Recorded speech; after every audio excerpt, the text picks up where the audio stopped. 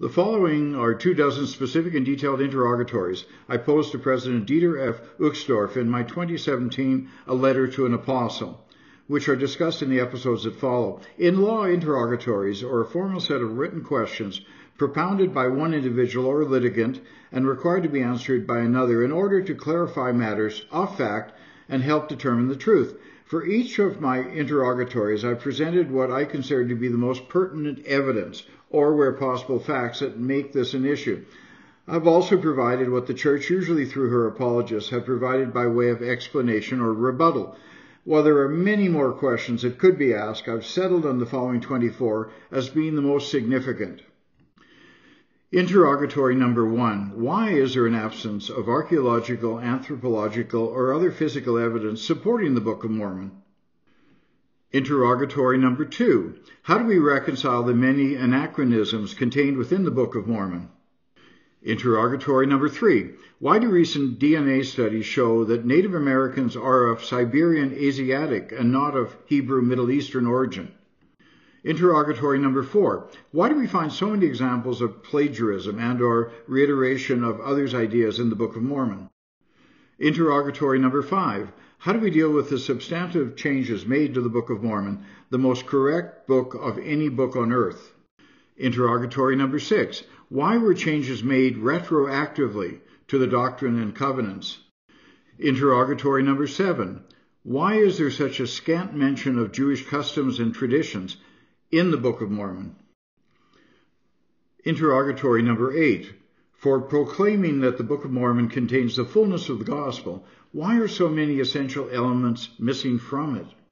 Interrogatory number nine. How do we overcome the conflicting statements made by the witnesses to the Book of Mormon? Interrogatory number 10. How do we deal with the many statements made by the witnesses that they viewed the Book of Mormon and witnessed the ministering of angels with their spiritual eyes or in vision only? Interrogatory number 11. How do we deal with the numerous accusations of sexual harassment and abuse leveled at Joseph Smith, including his affair with Fanny Alger prior to the revelation on plural marriage? Interrogatory number 12. Were Joseph's marriages to very young girls morally justifiable? Interrogatory number 13. Did Smith use coercion and undue influence to get girls and women to marry and or sleep with him? Interrogatory number 14.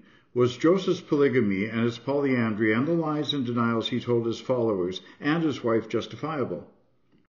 Interrogatory number 15. How do we deal with the contradictions relating to the restoration of the priesthood? Interrogatory number 16. How should we construe Joseph's gross mistranslation of the Egyptian papyri that formed the basis of the Book of Abraham? Interrogatory number 17. How do we square Joseph Smith's numerous false prophecies with the test of a true prophet as found in Deuteronomy 18? Interrogatory number 18. How can we deal with Smith's numerous differing first vision accounts and the fact that no one heard of the first vision for at least 12 to 22 years after he said it occurred? Interrogatory number 19. Was it coincidence that seven weeks after Joseph Smith's Masonic initiation, he introduced the endowment ceremony, essentially replicating the Masonic initiation? Interrogatory number 20. How does Smith's extensive rap sheet, including his arrest for money digging, treason, attempted murder, and bank fraud, comport with being a prophet of God? Interrogatory number 21. What is the meaning of Joseph Smith's embarrassing Kinderhook plates episode? Interrogatory number 22. Was it true that Joseph offered to furnish his wife Emma with a substitute for him, specifically William Law, by way of compensation for his neglect offer on condition that she would forever stop her opposition to his polygamy? Interrogatory number 23. Does Smith's creation of the treasonous Council of Fifty and his crowning himself king of the world seem like the actions of a prophet of God? Interrogatory number 24.